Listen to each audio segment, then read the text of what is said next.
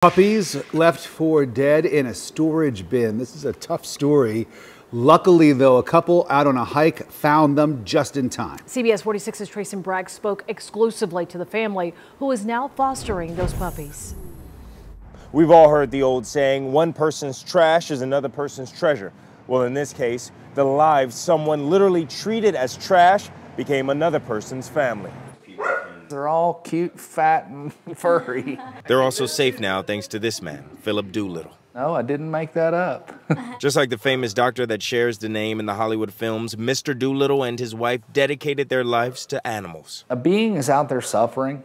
Somebody needs to somebody needs to help them. So when called upon, the Doolittles provide a warm home, love, and family by fostering pups left for dead.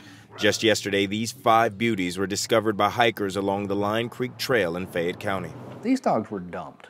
Somebody put them in a basket, hauled them down to the creek, and dropped them off. And had somebody not found them, they would have died.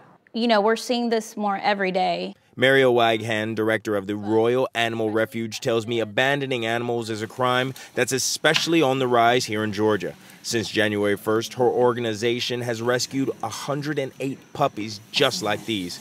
The group is now fighting to strengthen the law in hopes that results in no more puppies being left behind. The pups will be nursed back to health over the next eight weeks. At that point, they'll be ready for adoption. If you're interested in adopting, you can email Wagham at the email address at the bottom of your screen.